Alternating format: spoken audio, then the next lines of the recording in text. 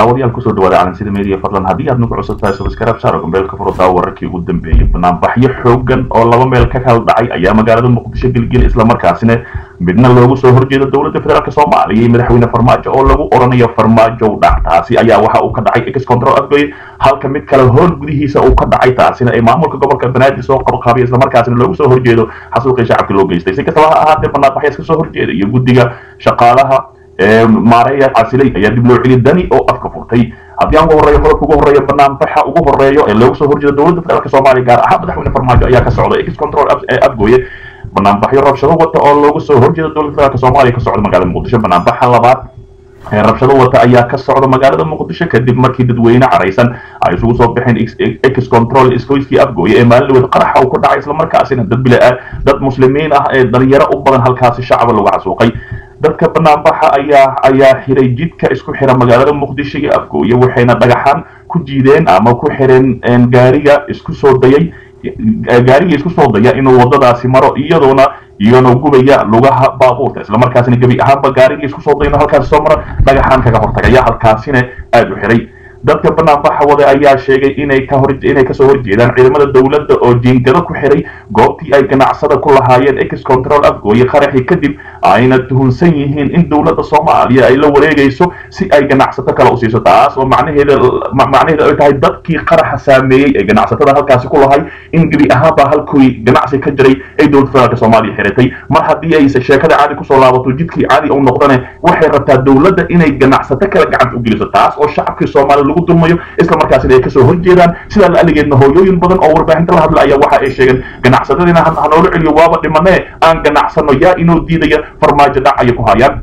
banaanbaxyaashan ayaa markii dambe ku dhawaaqayay erayo ay ugu soo horjeedaan madaxda dowladda soomaaliya iyagoona ku dhawaaqayay erayo ka mid ay yihiin farmaajo dooni mayno farmaajo dhac amniga waa ku fashilantay hantidayna ayaad qaadanaysaa hadda ay ugu dambayso meeshii qaraxa uu ku dhacay oo guryahaynii iyo ganacsigaynii ayaad doonaysaa inaad dadka gacanta u gelisid. Qaraxii waa uu dhammaaday dadkii waa naga dhinteen waan sabarnay aan ganacsano baahi ayaana hayso ayay ku oranayeen. Banaanbaxa ayaa weli ka socda ex control afgooye wuxuuna ku soo beegmayaa iyadoo uu magaalada muqdisho ka socdo banaanbax kale oo ay abaabushay dowladda soomaaliya siiba maamulka gobolka banaadir kaas oo lagu qabtay howl gudihiisa islamarkaasina cabsi daraaddeed halkaas iskugu shiraya. Sidaad sawirka ka aragtaan dhinaca kale banaanbixii labaad ee magaalada muqdisho ka dhacay ay soo qabanqaabisay dowladda gaar ahaan maamulka gobolka banaadir ayaa waxaa lagu qabtay howl iska caadi ah waxaa maanta magaalada muqdisho gaar ahaan hoolka xarunta ischool bulisiya lagu qabtay banaanbax ka balaa aan ballaarnayn oo loogu soo horjeedo qaraxii dadka badan ay ku dhinteen ee ka dhacay ex control afgooye dadka ka soo qayb gala ayaa aada u taryara. Inta badan banaanbaxyada magaalada muqdisho ayaa ka dhici jiray fagaarayaal ay ka mid yihiin daljirka dahsoon iyo sidoo kale garoonka kubadda cagta engineer yarisow exconis kaasi oo dadweyne aada u fara badan isugu soo bixi jireen. Banaanbixii maanta ayaana kaga ayaa kaga ka duwanaa kuwii hore ugu dhici jiray magaalada muqdisho in lagu dhex qabto howl dhexdiisa waxaana ayna dadka qaar intaasi sabab uga dhigeen cabsi daraadeed islamarkaasina cabsi ay ka qabaan ammaanka ay howl yar oo konton qof qaado iyo madaxdii iskugu imaadeen islamarkaasina warbaahintii u yeerteen ay waxay dhahayaan keliya waa uun banaanbixaynaa oo waxaan ka cabanaynaa arrintaasi. Taas oo halka shacabka qaar loo sheegay in layskugu tagi doono garoomada waaweyn taasi oo been ay noqotay dadka banaanbaxa ka qayb qaadanayay oo keliya degmooyinka gobolka banaadir ayaa filayay in banaanbaxa ka dhaca fagaaro waaweyn hase yeeshee waxaa dadka lagu wargeliyey inay isugu tagaan fagaaraha ischool bulisiya si halkaasi dareenkooda ugu muujiyaan. Gudoomiye guddoomiyeyaashii hore ee gobolka banaadir ayaa ahaa kuwa kuwa aada u dhiiran islamarkaasina ka cabsan oo inta badan ka cabsa ka cabsan in dadka dhex galaan kana qayb galaan banaanbaxyada lagu qabto fagaarayaasha. Hase hase ahaatee guddoomiyaha cumar finish ayaa la sheegayaa inuu yahay nin aad u taxadar badan kana muuqda cabsi aad u fara badan islamarkaasina ammaan uu ka qabo aan la doonayn in uu doonayn inta badan inuu ka qayb galo meelaha fagaarayaasha ah islamarkaasina uu doonayo meel amnigeeda ay waasic tahay inuu galo.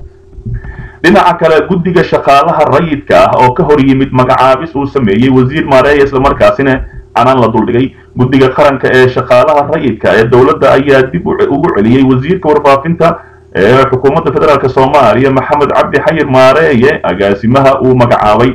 Wasiirka ayaa horay xilka ugu qaaday lix agaasime waxaana warqad ka soo baxday guddiga ay ku sheegeen in guddiga in guddiga dallacaadda ee wasaaradda aanay u dhiman aanay u dhammaystirnayn koromka go'aanka ka qaadashada ee garta sida uu qabo sharciga shaqaalaha islamarkaasina koromka u dhammayn aysan macquul ahayn inuu xilkii ka qaado una wax magacaabo sidoo kale qoraalka guddiga ayaa lagu sheegay in loo baahan yahay in dib loo eego nidaamkii xilka qaadista iyo magacyada taasi oo keentay in wasiirka maareeye la yidhi waxaas waxba kama jiraan oo dib ugu laabo. Si kastaba ahaatee arrintaasi ayaa iminka kacsan oo waxaa la leeyahay wasiir maareeye waa uu ku adkaysanaya inuu xilkii qaaday uuna magacaabay. Guddigana waa ay ka soo horjeedaan. Dhinaca kale madaxweyne dani oo sheegay in puntland hogaaminayso kacdoonka dowladnimada soomaaliya madaxweyne dani ayaa tababar u soo xiray cutubyo ka tirsan ciidamada birimadka madaxtooyada oo muddo shan bilood ah tababar ugu socday xerada ciidamada daraawiishta ee konton iyo afraad madaxweyne dani oo ugu horreyn salaan sharafeed ka qaatay ciidamada difaaca puntland ayaa bogaadiyey. Dhowlatus ay ciidamada la tababaray soo bandhigeen islamarkaasina indhihiisa uu ku arkayay aadna ula cajibay wuxuu sheegay in in in wuxuu sheegay in tayeynta ciidamada iyo inay helaan mashaariidkooda ama mushaaroodkooda ay si joogto ah si joogta u helaan waxyaabihii ay ku guulays ku guulaysatay dowladdii sanadka dhammaaday laba kun iyo sagaal iyo tobanka taas oo ula jeedo ciidamada kasta oo puntland u shaqeeya mushaaradkoodii iyo waxyaabihii xaq u lahayn si toos ayay u heleen sannadkii la soo dhaafay ee laba kun sagaal iyo tobanka. Waa qaybtii saddexaad ee ciidamada birimadka oo tababar loo soo xiray tan iyo wixii qayb ka tahay tani waxay qayb ka tahay dib u habeynta ay dowladda ku wado hay'adaha ammaanka iyo ciidamada qalabka sida madaxweynaha oo caddeeyey in ay ka go-an tahay tayeynta askarta ayaa kula dardaarmay ciidamada tababarka u soo dhammaaday kuwa sida ay tahay in uu gutaan waajibaadkoodii saara islamarkaasina shacabka u adeegaan aan la doonin inay musuq maasuq sameeyaan islamarkaasina amniga magaalooyinka lagu qoro ay si sax ay u fuliyaan. Waxaa balan nagu ahaa ayuu yidhi in dalka madaxda furasho furasho dambe loo haysan doonin ayuu yidhi mid meel isaga mid mid meel isaga mid ismoodadaba ismoodayba iyo mid reer soo kaxaystaba cidna kama aqbali doono ayuu yidhi madaxweyne dani. Isagoo hadalkiisa sii wata dani ayaa carabka uu ku adkaystay inay ka go-an tahay in puntland hormuud ka noqoto kacdoonka dowladnimo ee ka bilowday guud ahaan dalka soomaaliya. Madaxweynaha dani dadka soomaaliyeed nasiib darrada iyo hoggaan xumada ku dhacday waxaad moodaa in wixii yaraa ee la aamin wixii la yaraa ee la wuxuu yidhi wixii yaraa ee la amaamuday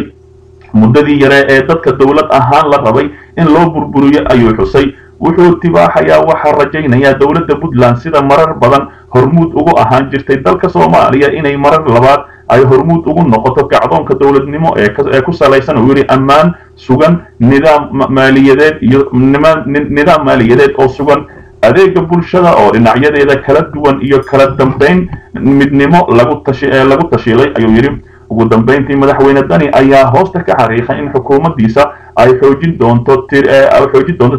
tiirarka puntland lagu aas-aasay oo ah adkeynta federaalka iyo midnimada ay wadajir ummadda soomaaliyeed u joogaan. Si kastaba ha ahaatee khudbadiisa oo sii dheereed ayaa waxa uu bogaadiyey ciidamada tababarka u soo xiray inay waajibaadkooda gutaan. Halkaa naga daawanaysaan waa cali sida fadlan narka go'doon warbixinada la